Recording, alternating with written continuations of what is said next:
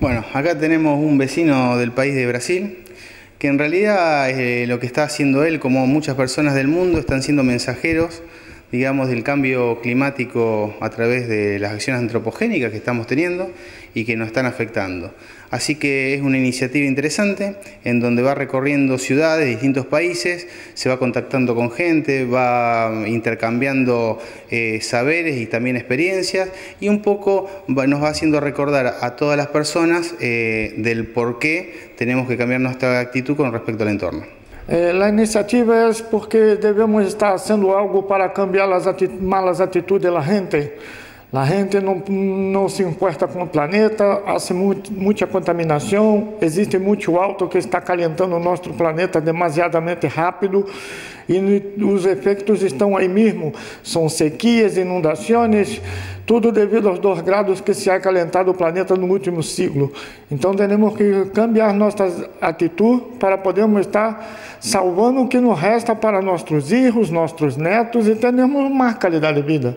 Pendiolo água em bicicleta, primeiro porque é um veículo não contaminante, ecologicamente correto.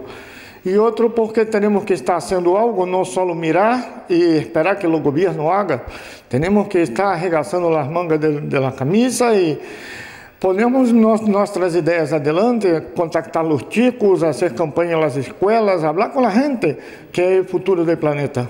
E, primeira visita foi acá na municipalidade, Entrei acá há uma meia hora que estou ingressando na cidade.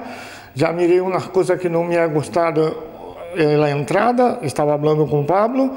Por isso vai cambiar a consciência da gente de não estar tirando basura por aí, na mata, nas sendas e tudo isso. E também que a gente utilize a bicicleta como transporte. Em toda a Sul-América, temos 10 países, são 42.795 quilômetros até Chacabuco e estou rumo aí a Centro-América, vou até México com essa importante missão que é conscientizar a gente sobre a importância de cambiar nossos hábitos. Que a gente preste mais atenção no que está ao seu redor, que o câmbio climático está aí, os efeitos são visíveis e temos que fazer algo, não só mirar. Temos que estar cada um ponendo nosso granito de arena para cambiar essa situação.